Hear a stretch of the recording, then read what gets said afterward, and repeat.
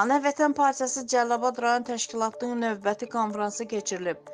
Konfransda Ana Vətən Partiyasının sədri Milli Məclis deputatı Fəzail Ağamalının köməkçisi Xidmət Orucov və Ana Vətən Partiyasının təşkilat şöbəsinin müdiri Ülvi Bayramov iştirak ediblər. Şəhidlərimizin xatirəsini sükutla yad etdikdən sonra konfrans öz işinə başlayıb.